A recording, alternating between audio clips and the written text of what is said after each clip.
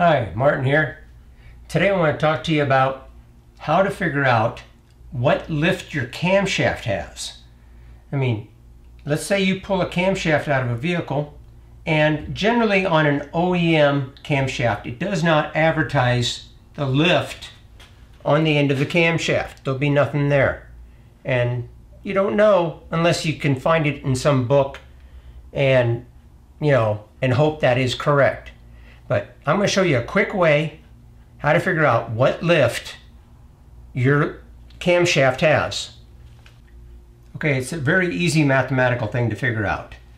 All you have to do is know the measurement from the top of the lobe of the cam to the heel side, which is the bottom side of the cam lobe.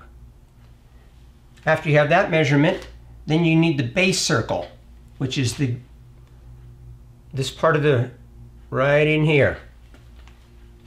This would be this measurement from this side to this side right here. And then the mathematical part of it is you're going to take that first measurement, nose to heel, minus your base circle. And the sum of that, you're going to multiply it by your rocker arm ratio. You're going to need to know what that is. And for the purposes of this video, we're using the 4.7 liter Chrysler motor. And I know the rocker arm ratio is 1.85 to 1 times your rocker arm ratio, and that's going to equal your valve lift.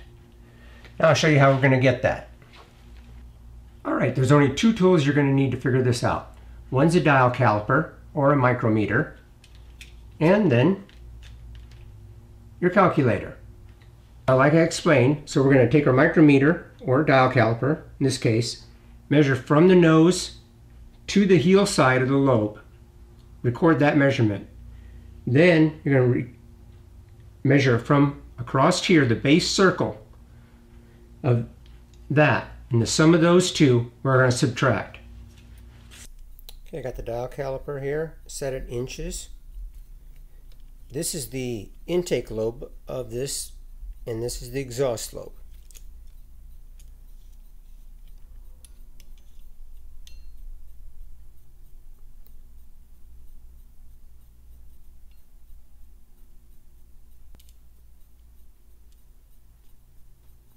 Okay, right there.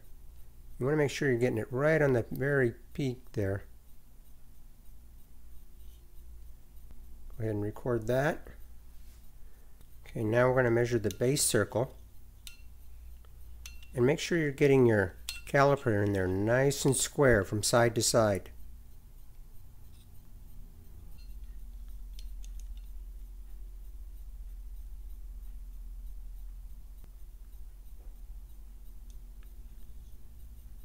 And I got a 17325. Alright, now we're going to do the exact same on the exhaust because your exhaust could have a different measurement and that is called a dual pattern camshaft.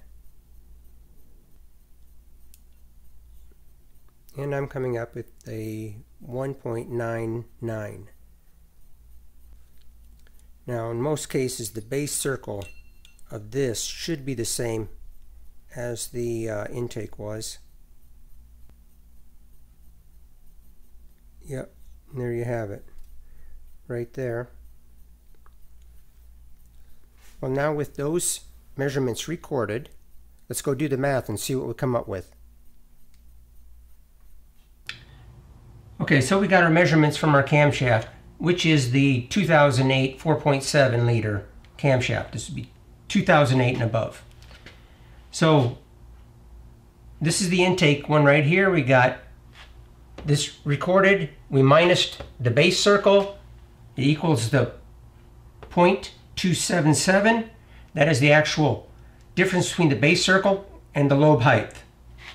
Then we multiply that by the 1.85 of your rocker arm ratio and we end up with a 0.512.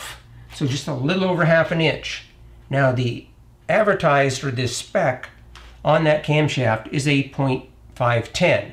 So I'm only off by two thousandths of an inch there.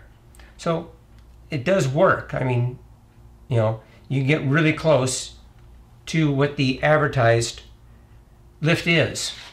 Now on the uh, exhaust, we had the measurement of uh, 1.99 minus the base circle equals a 0.2575 times the rocker arm ratio of 1.85 to 1 and that equals 8.476 and the advertised uh, lift on that is a 0.472 so I'm off by about four thousandths on that one. But you can see this it does work. You get really close to the advertised lift on this. So you can figure out what kind of cam you got in there. I mean it's going to give you the lift only. Uh, to do the duration that's a whole nother ball of wax there. We got to get out a degree wheel and it, it's a lot more work. All right I hope you all found that helpful and informative. And if you did I'd appreciate the thumbs up. And if you've never subscribed to me before if you would hit that subscribe button right down there and that little bell symbol right next to it. And that way you get notifications of my next video as they come out. All right, thanks for watching.